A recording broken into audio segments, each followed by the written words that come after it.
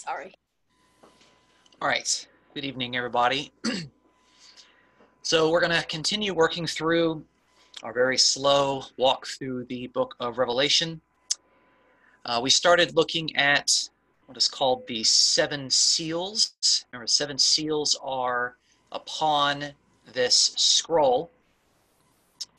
Uh, oops, that's what I'm looking for. Okay. Um, yeah, seven seals are upon the scroll that's in the right hand of God. The right hand of God uh, had this scroll, and Jesus was found to be the one that was worthy to to open it. And so we don't even know what's on the scroll yet. We can't even see it yet. We're just we're just breaking off the seals of this. Okay, we're just we're taking off the uh, you know the plastic wrap off of something before we actually get to see on the inside. Okay, so um, the point that I tried to make just to kind of get us to focus on you know what in the world is going on and how we even frame this into everything that's taking place here. Um, it's very likely that what is on this scroll that God wants to reveal uh, involves His will, His plans, and His purposes. Who is the one person that is wholly qualified to reveal the plans and purposes and will of God? Well, that's Jesus Christ, who is a lion and he's a lamb. And so Jesus has now taken the scroll and he's breaking off the seals. And it seems that what we're seeing with the breaking of these seals um, is a way to prepare us as listeners, as readers of Revelation, for the contents of the scroll. Okay? So we want to learn what is the will of God that He would have us to know. Well, in order to prepare us, we're seeing what these uh, these various seals are doing and accomplishing. Okay? So that's kind of framing, that's where we are in the big picture, okay? Now, last time we also talked about how um, that when Revelation gives these, uh, these various groups of seven, whether it's the seven seals or the seven trumpets or the seven bowls, that they are organized in a pattern of the first four being their own group and the last three being their own group, which is why the last time when I taught, uh, I just focused on the first four because the first four were four riders. There were riders on four horses, okay? So within seven seals, you don't get seven riders, you only get four riders, okay? So we should not expect five, six, and seven to be the same as riders. They're going to be doing something a little bit different, but they are still accomplishing the same purpose, which is that they are trying to prepare us as listeners, as readers, for the contents of the scroll. So they are putting us in anticipation, okay? and what we did see with the four riders um, was a variety of seemingly unsettling images. Okay, um, and so I just kind of got the. Uh, is the um? Are you guys able to see my uh, the BibleWorks screen in front of you? Just making sure that everything's showing up here. Of course, I can't see. Um, if, you if you do, just thumbs up so I can see. Okay, good. All right, good. um, okay, so we saw like in the first the first uh, seal in verse 2 we had a white horse which demonstrated conquering and conquest. And of course this would make uh, any of those christians by the way because people that are reading this and hearing this they're, they're they're believers okay? These are people in the churches okay? But any christian that might have compromised with the roman empire with worshiping the emperor uh, and thus divided their allegiance between god and lamb on the one hand and worshiping the emperor on the other hand this would have made them feel very uncomfortable because the Roman Empire heralded and promised everybody that they had brought this universal peace, the Roman peace, the Pax Romana. Then we have the second horse, which is uh, looks like it's war, uh, the red horse, um, and uh, it that it says there in a, a six in verse four um, that it was granted to take peace from the earth. So of course that Roman peace could be taken away with war. Of course we know from hindsight of the last 1900 years have been lots and lots of wars in the world okay? So any sort of peace that rome promised definitely didn't last okay? Third horse we have famine uh, famine being something that affects a lot of people and and that's just that's just unfortunate okay? Because food um, is an issue. Uh, it's actually one of the problems today is that although in the world today there is enough food in the world for everyone to be practically overweight there are still uh, people that die of malnourishment every single day. Okay, so uh, basically, the world has the means of dealing with the problems of famine um, it hasn't quite done that yet. Um, people die every day because they don't have enough food, despite the fact that there is enough food in the world. so that's an ongoing issue. And you know, if conquest isn't going to get you, if war is not going to get you, if famine's not going to get you, then the fourth force of death that's going to get you. Okay, so because everyone's going to die at some point, unless Jesus returns in our own lifetime. So all these things right here would have made anyone that felt a little bit too comfortable um, and not having placed their reliance upon God, putting their reliance upon the Lamb and upon the kingdom of God. And of course, Revelation is also trying to give us, excuse me, this imagery of New Jerusalem. Anyone that has not placed their hopes and trust and faith on those things will feel very uneasy about the threat of conquest, the threat of war, the removal of peace, um, famine, and then ultimately death. Okay, so that's kind of where we are. And now we're moving on to the fifth seal. Okay, so that's what's going to be in verses 9 through 11. And actually, we're, we're just going to finish chapter 6. In chapter 6, we only get the first six seals. Okay, all of chapter 6. Just going to just going to give you an idea. So we got the introduction of seven seals. All of chapter 6 deals with seals 1, 2, 3, 4, 5, and 6. Okay? And then we kind of have this long pause, this long interlude. And in chapter seven, you have this long pause between seals six and seven. And it stops and it makes you think and it puts you on the edge of your seat. You're waiting, you're in anticipation, you're wondering what's going on. And so the function of putting that big pause there, that big interlude there, um, will help us to think about the implications of the six seals and what's going to happen with the seventh seal. Okay? Uh, and so rhetorically, that would be very, very powerful. So we're going to ask the question once we get done reading this today, the question that really is important, which is how does this make us feel? How does this make us feel? Because how these words made people feel um, was an intended effect. Because actually, you remember in Revelation 1 and verse 3, it says, Blessed are those who hear the words of this prophecy and those who keep it. Okay? So we're blessed if we listen to this, and if we keep, we hold, we maintain the message that's within it. So asking the question, how does this make us feel when we hear it is, is an important question and an intended question for us to be asking. Okay, so we'll look at the fifth seal here. Okay, so we got this the scroll, and he's just slowly breaking off seals one by one. okay, fifth seal. All right, so uh, let's see. So verses nine to 11. Just we're gonna go just kind of one seal at a time. Okay, verses nine to eleven. And so you'll just, you'll listen to the seal, and you're going to think, wow, this sounds really different from Four Horsemen. Okay? So we have there in verse uh, 9, let me move my picture over a little bit. When the Lamb broke the fifth seal, I saw underneath the altar the souls of those who had been slain, literally those who have been slaughtered, because of the word of God and because of the testimony which they had maintained.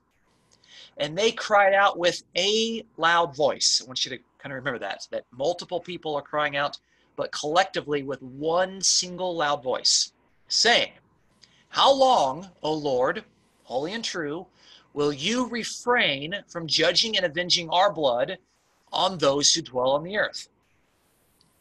And there was given to each of them a white robe, and they were told that they should rest for a little while longer until and you'll notice here that this, this little phrase is actually in italics, okay? And so I don't think actually the part that's in italics, well, I know it's not in the Greek text, but uh, the Greek text is a little confusing. Um, so I'm not going to read the italics part because I think um, that confuses what's here. Okay, so it is until their fellow servants and the brethren who were to be killed, even as they had been, would be completed also. Okay, we're looking for a completion, an, an act of completion of the servants and the brothers and sisters who were to be killed as they were. Okay, so what is the fifth seal? The fifth seal here uh, deals with martyrs, deals with Christian martyrs. Okay, these are Christian martyrs. How do we know they're Christian martyrs? Because they were killed specifically because in verse 9, and, and it's actually a very important kind of causal preposition. They were killed, they were slaughtered on account of the word of God and the testimony which they had maintained. And those are I'll, I'll, put it up here, just kind of make it easier for people to see. Okay. Um, right there, the word of God and the testimony they had maintained, those are meant to be kind of two kind of further developing points. It's not two things. It's not the word of God and the testimony. It's the word of God, namely the testimony which they had maintained. And the word for testimony is the noun where we get the word witness, the word martyrion, okay, the word witness, okay? Um, and so they, they maintain their witness, okay? They were faithful witnesses to the word of God. Now notice here, I, again, I have to keep making this point. Um, the word of God here is not the Bible. The word of God is the gospel message, okay? It's the gospel message. It's the testimony that they had maintained, okay? They had maintained this responsibility to be faithful preachers of the gospel message. Okay? And this is a good thing, okay? I mean their their sacrifice is is is highlighted here. It's almost like the best thing that's been said in this chapter so far. We've seen kind of negative images between conquest, war, famine, and death. And now we have a promise of vindication for faithful believers, faithful Christians, who have died as martyrs because they were faithfully preaching the gospel message. Now, we know that Jesus himself, back in Revelation chapter 1 and verse 5, Jesus himself is called the faithful witness. He is the faithful martyr. Okay?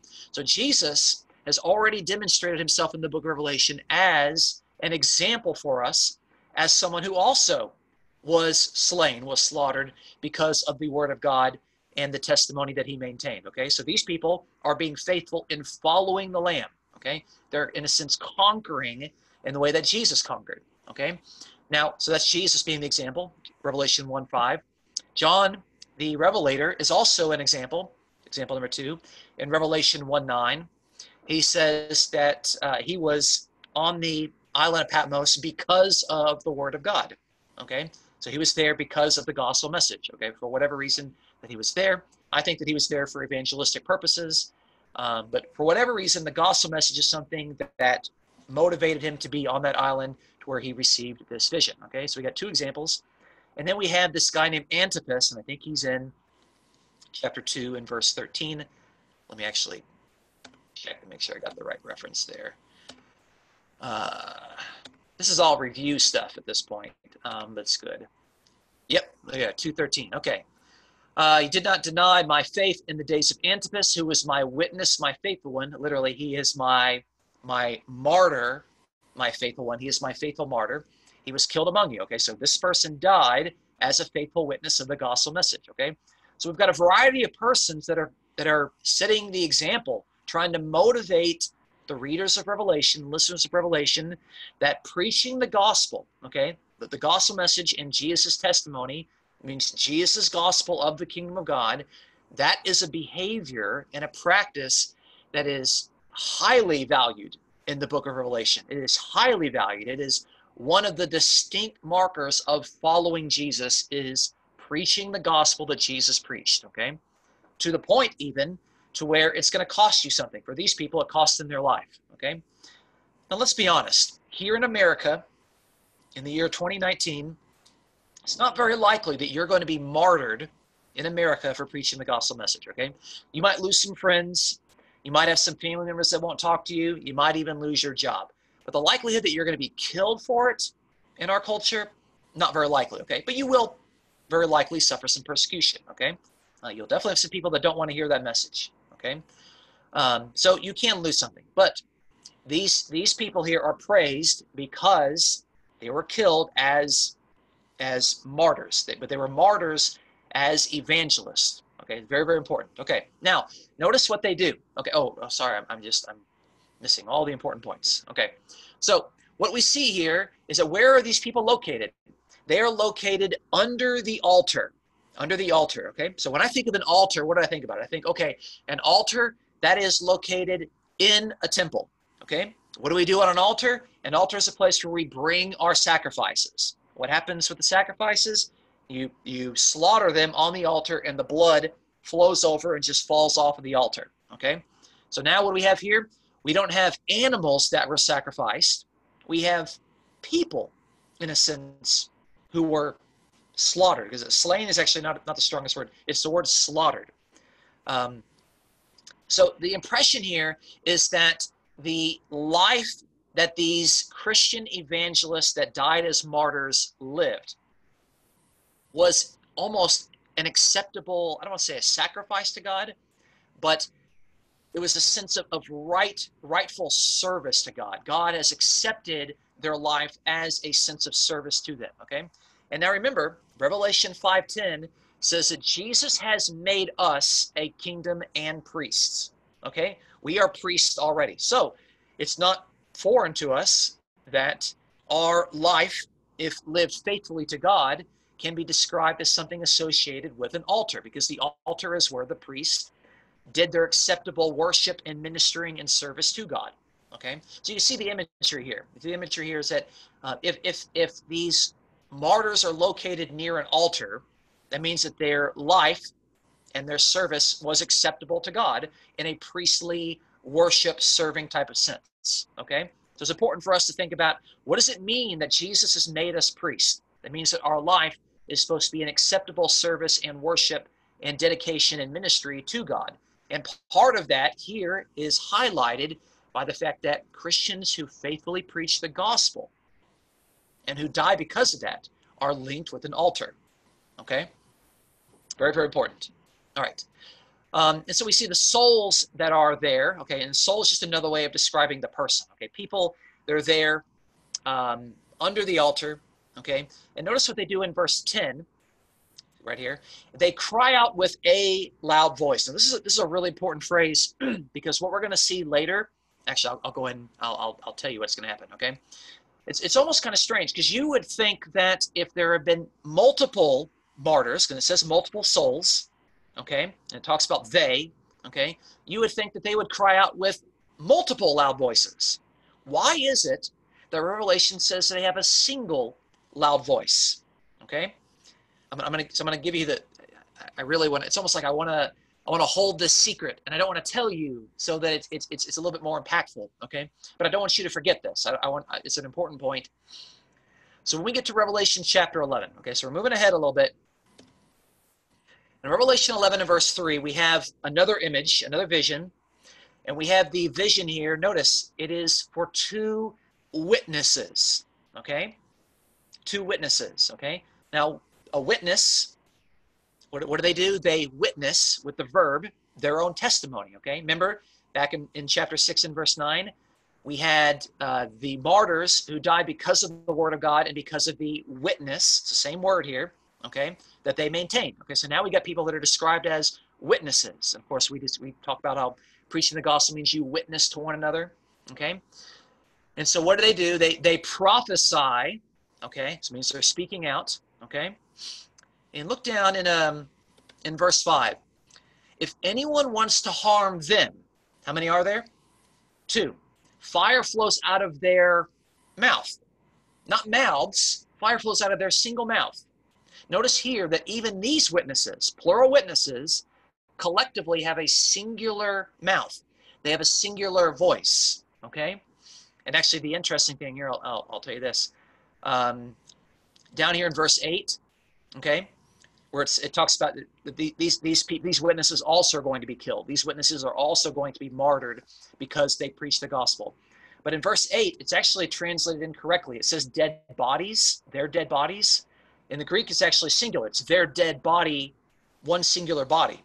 Collectively, these witnesses have one singular dead body. Collectively, these witnesses have one singular mouth. They have one singular voice. So here, back in chapter 6 and verse 10, they cry out with one singular loud voice, okay? Meaning that the the witness of the body of Christ, the witness of preaching the gospel, is understood with their call for vindication, their preaching. Uh, they're kind of understood collectively as a singular unit. Okay, so so I'm pointing this out because this this way of describing a variety of faithful people of God with a singular voice, uh, a singular mouth, and a singular body uh, is going to be something that's going to repeat later in Revelation. So it's a thematic point. Okay.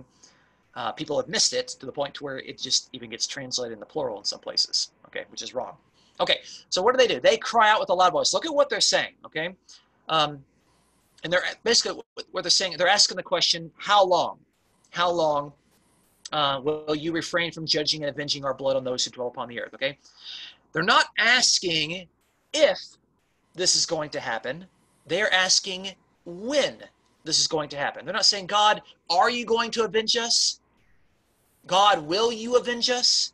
They're saying, how long? They're basically saying, when is this going to happen? They are confident that the one who's going to avenge their death is God. Okay? Very, very important. They they trust that that vengeance and wrath is something that that is a privilege that God possesses. Okay? God, of course, who has handed over judgment to Jesus, to the Lamb, also is going to allow the Lamb to execute wrath and judgment. So we see that in Revelation. But basically, those are the only two persons that have the true authority to do the avenging in Revelation. Okay. So asking that question, how long is this going to take place? Okay. Now I want to, I want to go back and give a little bit of imagery uh, as to what's going on here, because basically we have we have souls. These people are dead. And you're thinking here, okay, how is it that dead people can cry out? Okay, because we have all been taught rightfully that dead people are dead, they're unconscious, they're in the grave. They have no activity, no knowledge, no planning. They're not worshiping God. But here in Revelation, notice we have a vision, a vision of souls underneath the altar crying out for vindication. Okay? Is that a contradiction? Does that mean dead people are really alive and are conscious and they can actually speak and cry out to God? Okay? Um, no, that's, that's not what's going on here. So this is drawing a lot of imagery from the Old Testament. So first place we'll look at is in back in the beginning, Genesis chapter 4. In chapter 4, we've got Cain and Abel. Okay. Cain kills Abel. Look at what God says when God's looking for Abel. Genesis 4 and verse 10. He said, What have you done? The voice of your brother's blood is crying to me from the ground. His brother's blood is, is crying out. This is this is obviously the sense of Abel is crying out for vindication, okay? But no one thinks that his brother's blood is actually alive, conscious, and actually crying out with, with tears. No, we, we get that. We understand what's, what's going on here in Genesis uh, 4 and verse 10, okay? um, uh, and actually, the same thing actually shows up in, um, in, in Hebrews. Hebrews chapter 11 is that long list of uh, faithful people um, uh, yeah, there you go. Hebrews chapter 11 and verse 4. Again, with Cain and Abel. By faith, or in faithfulness, uh, Abel offered to God a better sacrifice than Cain, um, through which he obtained a testimony that he was righteous, God testifying about his gifts. And through faith, though he is dead, he still speaks. Okay? That doesn't mean that, that Abel is alive somewhere, consciously talking to us. It's that his example of faithfulness is something that speaks to us and gives us motivation as an example. And of course, that's how we read Hebrews chapter 11. Okay. So we can see there's a variety of images in the Bible of, of people that have died, righteous people that have died, and their death serves as an example to motivate faithful, godly behavior for other people. That's what's going on here in Revelation. Okay when it says that souls are under the altar that are actually talking to God, that doesn't mean that the dead are alive or the dead are conscious. Okay, dead people are dead. How do we know this? Because look at what they're told to do in verse 11. They were told that they should rest, they should sleep. Sleep until we're going to ultimately learn the time of resurrection. Okay, these people are resting, they're asleep, they're dead, they're not really alive. This is poetry. This is part of the vision. It's it's it's a way of, of saying that the sacrifices of these Christian martyrs that were faithful preachers of the gospel is a sacrifice that is one, acceptable to God as faithful priestly service, and two, an example that is intended to motivate other people. That's the point of that particular personification. Okay, so don't let anyone tell you, oh, the Bible in Revelation 6 says that dead people are alive because they can talk. That's not, that's reading things too literally. We don't do that. Okay, so they're asking God, hey, when is this going to take place? And if you look in verse 11, God doesn't actually give them a good answer. He doesn't, he doesn't tell them when it's going to take place, okay? what he says By the way, they're given a white robe, and we know that white robes are the reward for faithful people. White clothing is the reward for faithful people. Okay. And they're told, by the way, that they should rest for a little longer. We'll, we'll do a little study on that word rest just to kind of prove the point. Um, until their servants, the brethren, who were to be killed as they were, which is killed and martyred for preaching the gospel, would be completed. Okay? So two things I want to kind of focus on here, just kind of make sure. This this phrase here, the number of those, um, this is one of those things where it was just kind of it was it was because the Greek is, is awkward. It's kind of clumsy. Uh, and so the translator thought, well, let's just put that in italics. Maybe that'll help make sense of it. I don't think that makes any sense of it because I don't think what this passage is saying is that there's that God has a certain number in his head of the number of martyrs that need to be killed for preaching the gospel. And once it reaches that point, then God's going to vindicate them as if God's got some sort of magic number like, you know, 100,000 or 200,000. I don't think that's what's being said here. The word number is not here in the Greek text, okay? So this is one of those places where I took a pencil and I just kind of scratched out that phrase. we're looking for here is for the people to complete the work that they have and to be killed in the same way that the martyrs were killed. Okay, so let's just let's just take the points one at a time. Let's talk about the word rest. Okay, all right. So this is it's not it's not the same word for sleeping. It's just a different word word for rest. Okay, so let me show you how this word gets used in the Bible in some very important context. So I just did a word study on that word rest. We're going to see here Daniel chapter 12 and verse 13. Daniel 12 verse 13. God says, "As for you, Daniel." Go your way to the end, then you will enter into rest and rise again for your allotted portion at the end of the age. Okay? That is the rest of sleep. That means, Daniel, go your way. You're going to die. You're going to rest, and you're going to rise again in resurrection when? At the end of the age. That's easy. Okay? So that's same word. Same word here. Okay? Remember, Daniel chapter 12 is the very first occurrence that we have in the Bible of clear, unambiguous resurrection theology. Okay? Um, elsewhere in Revelation, in Revelation chapter 14 and verse 13, we have the same, same verb. Notice, by the way, it only shows up twice in Revelation. Revelation 14, 13 says, And I heard a voice from heaven saying, Write, blessed are those who are dead. Sorry, sorry, blessed are the dead who die in the Lord from now on. Yes, says the Spirit. Why? So they may rest, meaning sleep, in death from their labors and their deeds will follow them. Okay? Notice they're, they're dead. They die in the Lord and they're blessed. They're dead. They're called the dead. They die in the Lord and they rest. They sleep. Okay? This is the sleep of death where people are unconscious and they're waiting resurrection. Okay? So that's what's going on there. These people, these basically, the answer is like, okay, rest, sleep. There's going to be a time coming for resurrection. There's going to be a time coming for vindication. Revelation's not quite going to tell us when that's going to take place yet. We're going to see it later, like way later, like way in like chapter 20 later, when that's going to take place. But they're told, hey, you know what? God's got it taken care of. You're identified with the faithful people. You've got some white robes. You're told to rest. But what we also are seeing here is that there needs to be a completion. Um, look at this word here, completion, uh, where it is. Okay, yeah. So this is the word translated for completion. Okay. And we're going to see it's only going to appear in Revelation, looky here, two times. Okay. The only other time is in Revelation 3 and verse 2, where Jesus says, Wake up, strengthen things that remain, which are about to die. I have not found your deeds completed in the sight of my God. What does Revelation here say?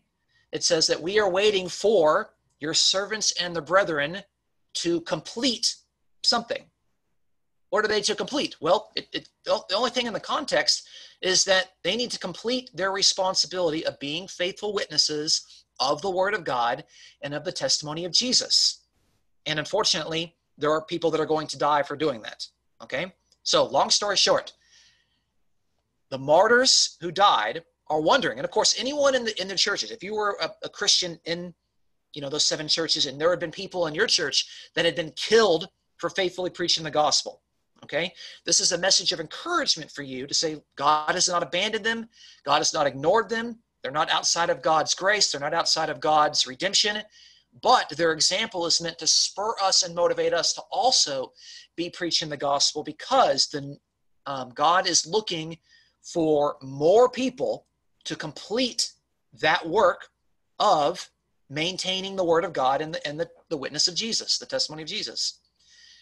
This is very, very, this fifth seal is very, very different than the other four. It's basically, it, it, has got, um, it, it's telling us that we need to keep on preaching the gospel. That's what we need to be doing. Okay. It's a very, very powerful, very, very deep, very intimate uh, passage, but that's, that's what it's saying here. Okay. Um, God is waiting for a time for the completion by the fellow servants and the brethren um, to complete that work and, and ultimately to, to suffer because of it. Okay, he's not looking for a certain number, he's looking for the completion of the work of preaching the gospel. Interesting point. Let me actually just kind of a uh, before I go on to the, the next seal, because actually and, and the next seal is longer, but it actually is the easier of the two. Um, let me just kind of stop right here and see are there any kind of questions or, or even kind of any any responses um, from you all. I'll, I'll, stop sharing the screen. What do, you, what do you guys think of this, of the fifth seal of, of the uh, of the martyrs? Um, any any uh, comments or questions?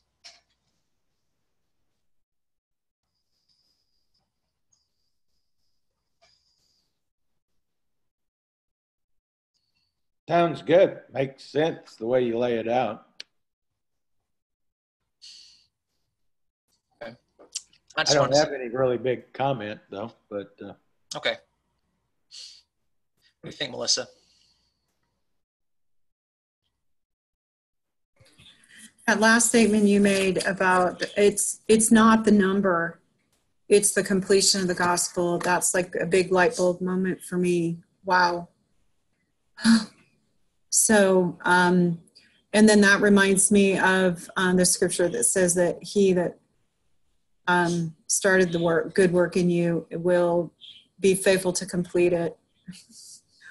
Wow, that's just awesome. Thank you. Yeah.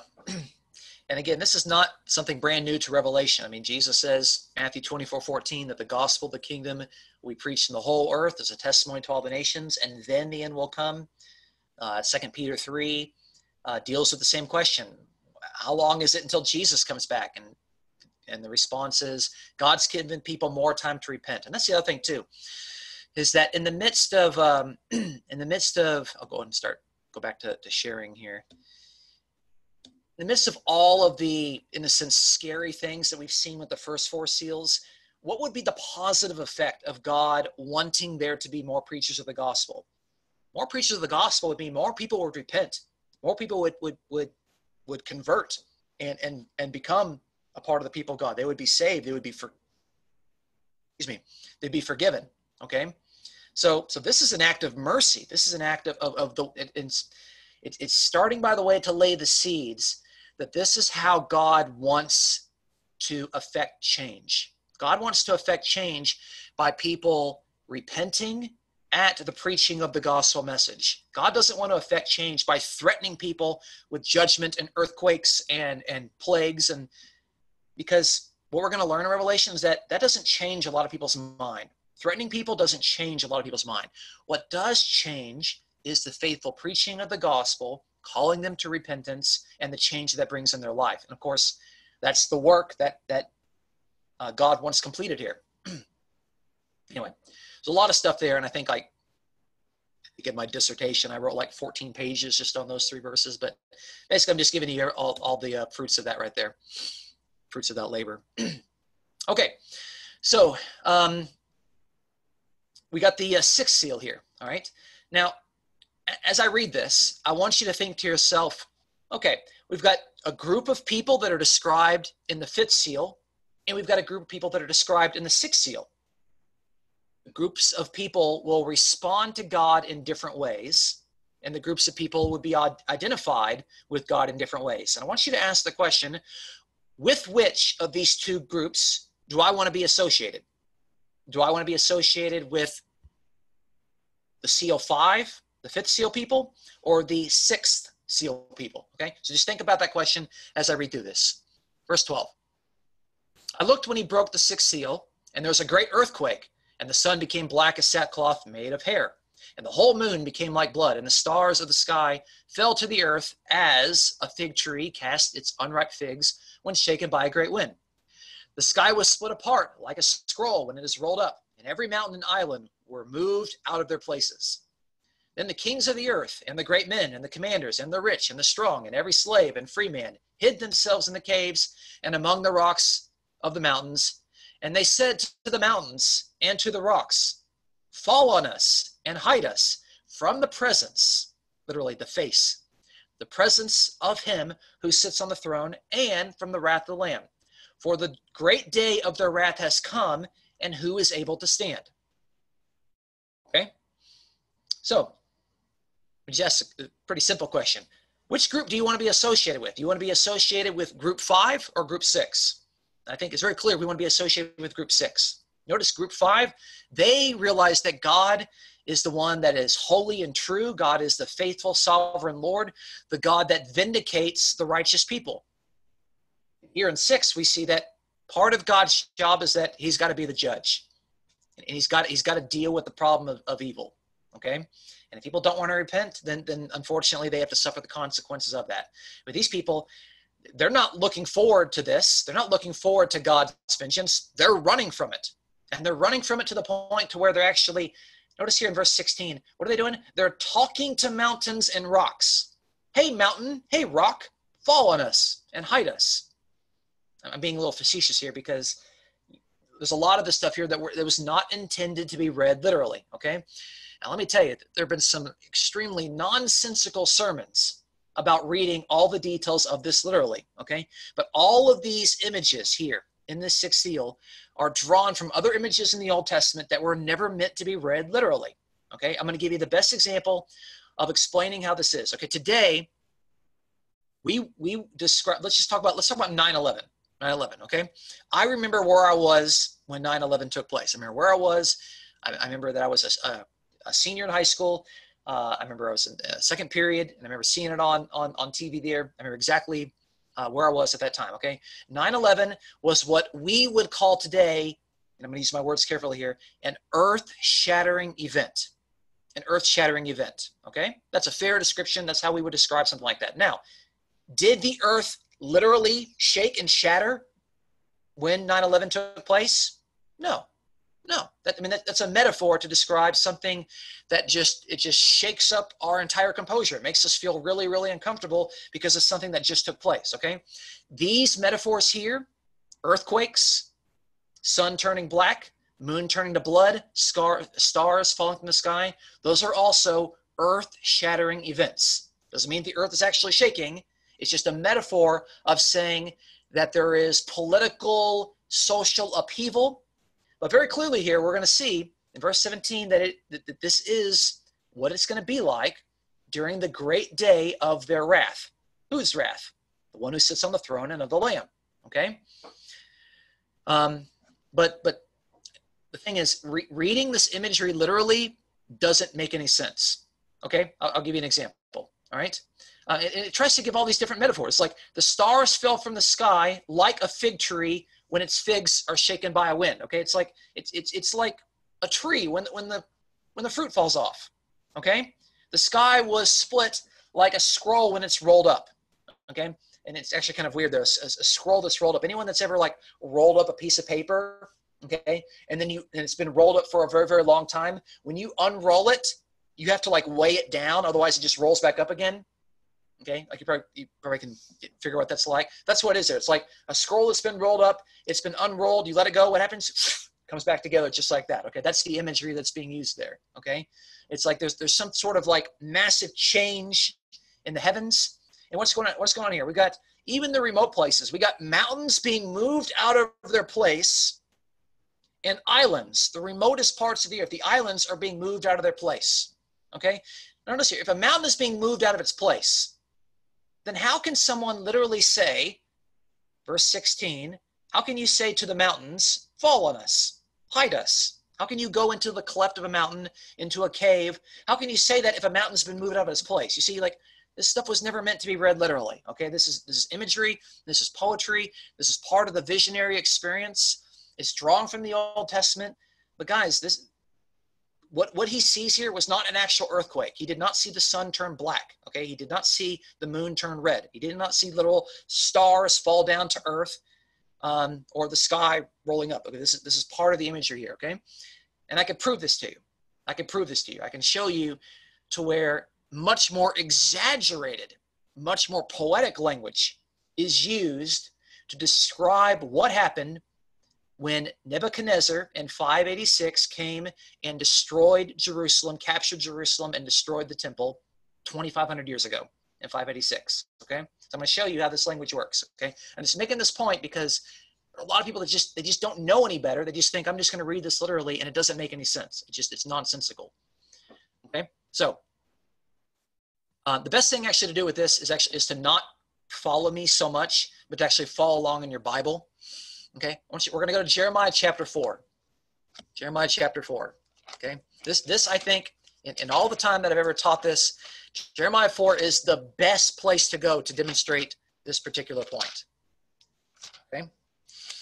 all right, so let's get some context. Jeremiah chapter four. Let's uh, here. I'm going to go down to verse. okay.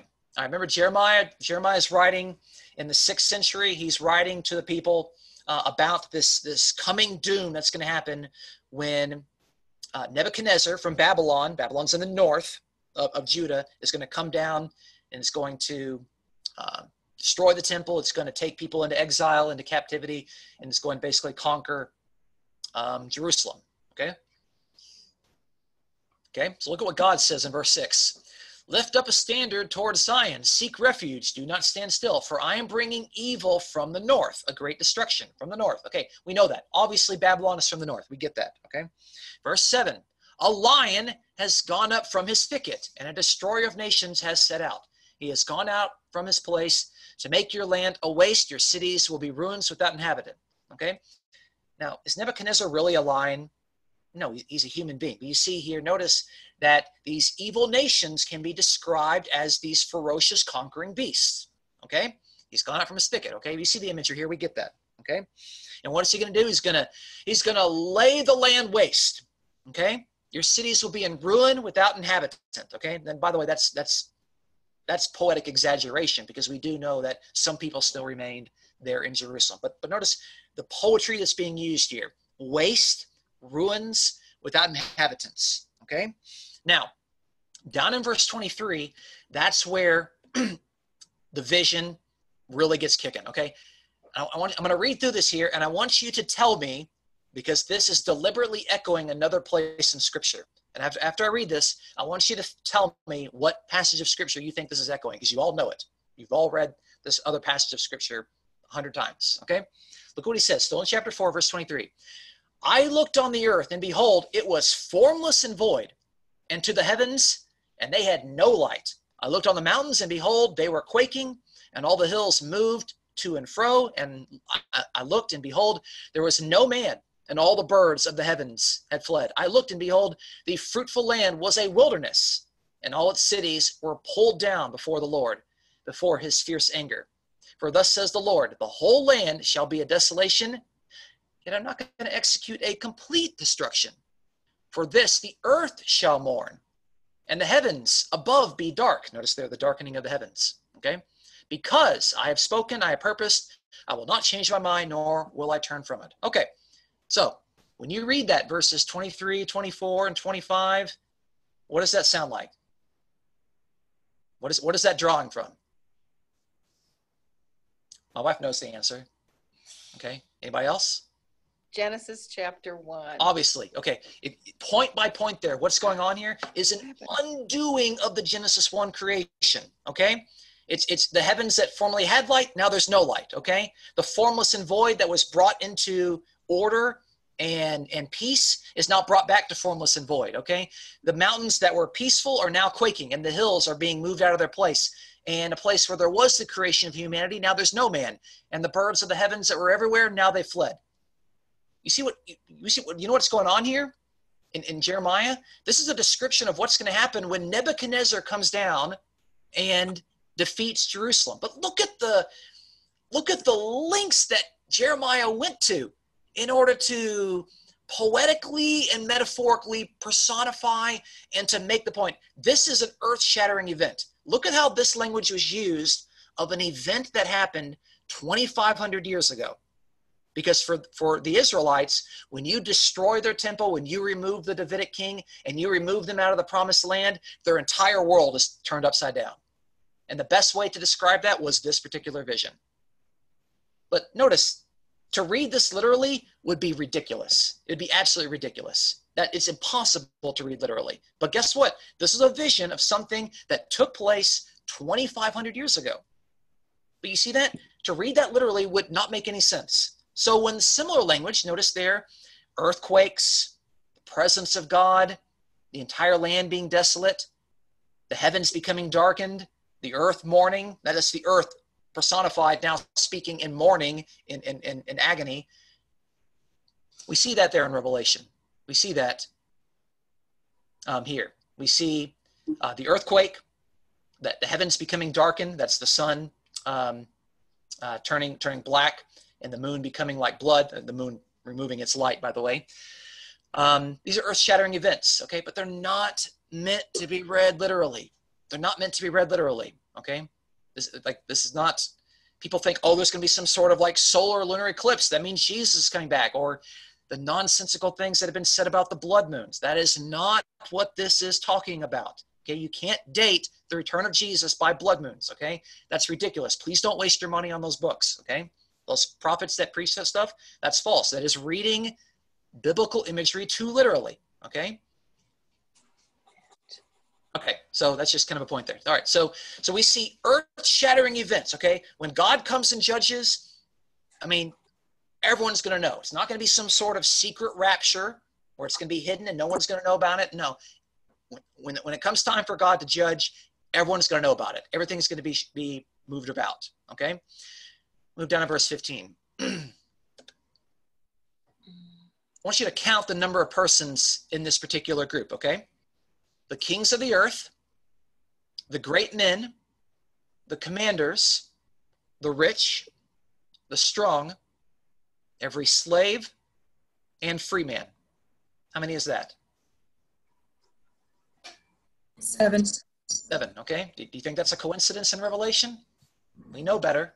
We know better. So no, notice, notice how seven, as a as a number describing the completeness of humanity, um, can can be shown here without actually using the number seven. Okay, um, so we just we it's just another way to kind of be careful sometimes the concept can actually be there without actually the word being there okay so the number seven doesn't show up but clearly we've got seven different things here um, and that's important okay so this is it's just a way of kind of describing all of humanity we got the kings great people commanders got the rich and the strong okay those people that by the way are used to being out in public they're used to being out in front of other people but what are they doing now they're hiding now they're running away now they don't want to be seen in public Okay. Okay. And of course, you got every slave and free man. So that, by the way, encompasses everybody. And they're hiding themselves. They're running away from these caves, from the rocks, from the mountains. Okay. And what are they saying? They're saying, by the way, they're saying to the mountains and the rocks, again, personification for a couple of reasons. One, because the mountains have already been lifted up. And two, because we don't talk to mountains. We don't talk to rocks. You don't read that literally. We just don't do that. Okay. Um, they don't answer your calls to fall and to hide you from God's face, God's presence, and from the wrath of the Lamb. Okay. Now, this, by the way, um, is also drawing on the Old Testament. Okay. Uh, so where we want to go here is Hosea. Hosea, the first of the minor prophets, in Hosea chapter 10. okay. Okay and start in verse 7. Okay? Now, a little, little context of Hosea, just very quickly. Um, Hosea uh, is in the 8th century. Okay, so Hosea is kind of a, a contemporary of like Isaiah. And uh, so this is this is back when when when Israel um, when when uh, when the Israelites had their ten tribes to the north and their two tribes to the south. But we do know that eventually the ten tribes are going to get conquered and destroyed by the Assyrians. That happens in 722. Okay, so just kind of recap.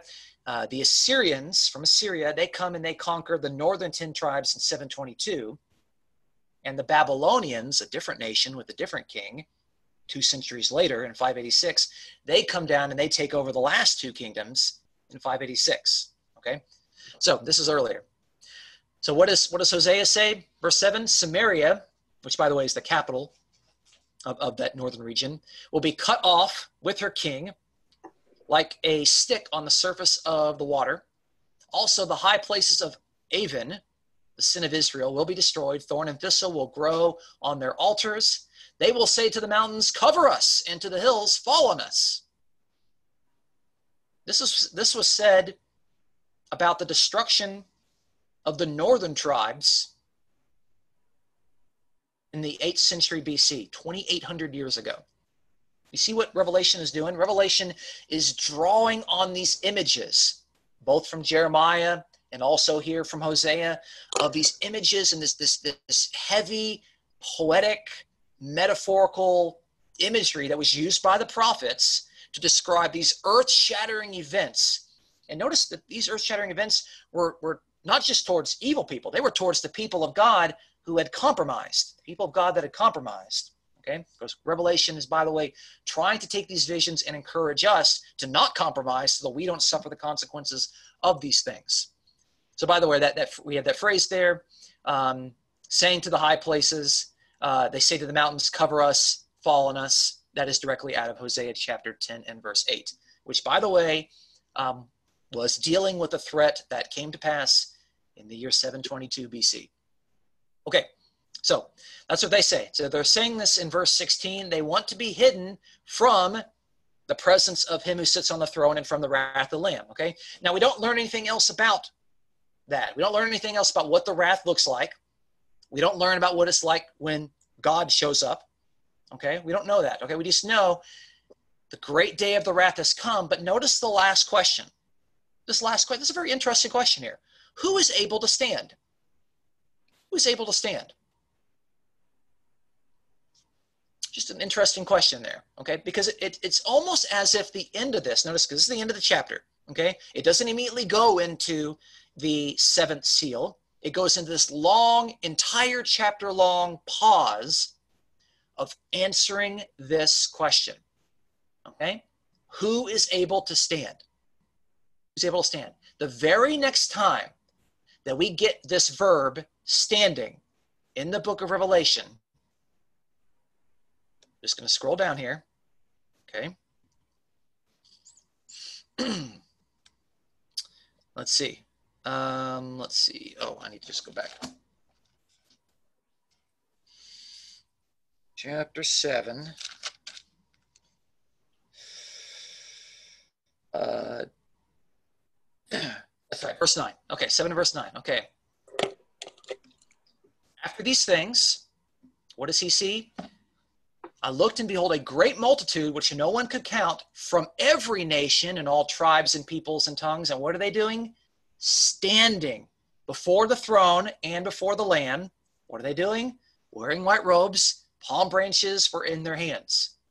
So, the answer to the question, who is able to stand in the midst of God's judgment on the day of his wrath, when the kingdom ultimately comes. God, God shows up and the wrath of the Lamb shows up. Who is able to stand? Look at look at the encouragement here. The encouragement is it's it's to believers. It's the it's, it's the Christians, people from every nation, tribe, people and tongue. They are the ones that are standing before the one seated upon the throne, before the Lamb. They're clothed in white robes, and they've got those victory palm branches. Remember those palm branches we saw in all those coins with the goddess Nike? Now these people are the ones that have conquered. Okay, so, this long pause in chapter 7 between seals 6 and 7 is meant to give some purpose and focus to the people of God as to how they're supposed to live and how they're supposed to obey and what they're supposed to do and what they're supposed to look like. Okay? So, while the end of chapter 6 ends with that question, and it's really it's a rhetorical question because we know we know the answer is who is able to stand the people of god are able to stand okay now the, the great people the kings and all those people that are that are opposed to god that want to run away from god that want to hide from god that want to have nothing to do with god yeah they're going to get what's coming to them but the people of god are able to stand that they can have confidence on the day of judgment okay so to me i think that gives a very very interesting this this entire like when i when i read this I look at chapter six and I walk away with, with two feelings. One, First feeling is don't compromise. Don't get too comfortable with this world because the, the things that I'm comfortable with in this world, they can all be taken away through conquest, through war, through famine, through death, through the judgment of God. But what I do need to do is I need to do my part in completing the work and the commission that's been given to the church of being faithful witnesses of the gospel of the kingdom of God so that I can have confidence and I can stand on the day of judgment. I think it's a, it's a very it's, a, it's an interesting way of both spurring on those who have compromised in the church that are reading this message to not compromise and to shape up and to be more faithful and to encourage those people who are faithful to keep at it because there's a good reward set out for them. Anyway, um, I'll uh, stop sharing here and open it up for any kind of uh, questions or comments. Or, or I, I actually, I, I, am curious. Um, the question I initially asked: How does this make you feel when you read these things? How does it make you feel? Do you feel frightened? Do you feel scared? Do you feel encouraged? Do you feel unsettled? Uh, I'm curious about that. I'm curious what sort of rhetorical effect does this uh, does this chapter have for you? I feel encouraged because, uh, I mean, it's kind of been our commission from the start is to always preach the gospel and to stay uncontaminated from this age, this world, and from all the different things that can weigh you down and distract you. And uh, so, I mean, all that will come as a consequence, you know, to people that don't listen. But, um, know, and it's I mean, the thing I always have to encourage myself is to keep um, sharing the gospel with people. We're not responsible for their reaction or whether they believe or whether they don't believe. And you never know how you might change those people. It's like Pam was talking about those young uh, kids with Rebecca uh, years ago. And I've talked to Rebecca several times through the years, and a lot of those kids' lives have been changed to the good for a lot of years to come through their adult life. You know, we might not see that result, but talking to her, I could see where they had very good results in their life because of a lot of the things that happened out of that fellowship. So you never know what's going to happen and how people are going to react. But our responsibility is just to obey and, and do what God asks us to do. Yeah. So it's always encouraging to know that eventually we're going to get to the to the end of the tunnel. yeah. oh, and, and speaking of the end, uh, it's it's interesting there that at the end of chapter six we do get to the day of judgment, but the book of Revelation doesn't end there. It doesn't say, okay, well, you've got to the day of judgment game over like let's just kind of stop right there. We see that the visions are going to continue to come and they're going to recycle and they're going to show up in a different way. So people that think that oh you need to i should have made this point earlier. People that think that oh you just need to read the book of revelation as if it's this ongoing timeline of events to the end of the age what do you do when the day of judgment comes at the end of chapter six what do you do with the rest of the book it just doesn't work it just the hypothesis just falls apart so um, so yeah, thanks for reminding of that. And, and thank you for your comments. I appreciate that. Um, Melissa, I see your hand up. I don't know if that was from the last time or not. That's from the last time? Okay. I should do, I should call on Hannah right now and she's got her mouth full of food. um, I'm just, I'm just teasing. You don't have to say anything. What do you think, Pam? Well, I'm in the same camp as Greg when you put it the way you um, presented the whole thing. Um, it's it is encouraging. You know, for the longest time, I always thought it was a very fearful time, uh, uncertain of the outcomes for you, whether you were in that time alive or whether you were in that time um, dead or resurrected. You know, it just, there was just so much that seemed frightening, kind of scary.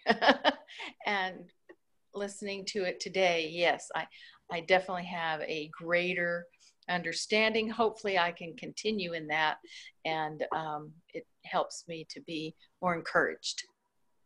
Thank God.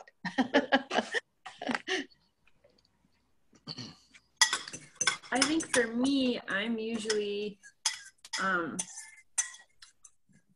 I feel like I grew up being taught kind of like that was all literal stuff. I'm not even really sure what I grew up knowing, but um, it helps me to know, first of all, that that's not literal. And second of all, that, I'm gonna get on camera, um, that um, I lost my train of thought. Not literal. Not literal. Um, Jackson. but just that, um, I guess also that it's like that divide between the people who are fearing God and and fearing His face versus those of us who have been faithful and that kind of thing. I think I still have some anxiety about whether I'm faithful enough, but we'll we'll keep working on that. one question I not question, but one statement I was just thinking about. Remember when when uh, the angel appeared to Daniel? I mean, what did he do? I mean, he fell um, with his face to the ground and he was afraid to move. I mean, I think that that sort of um, being in the presence of God and being in the presence of the Lord Jesus and and all the believers, it's going to be kind of full of awe and wonder rather than you know fear and and being afraid.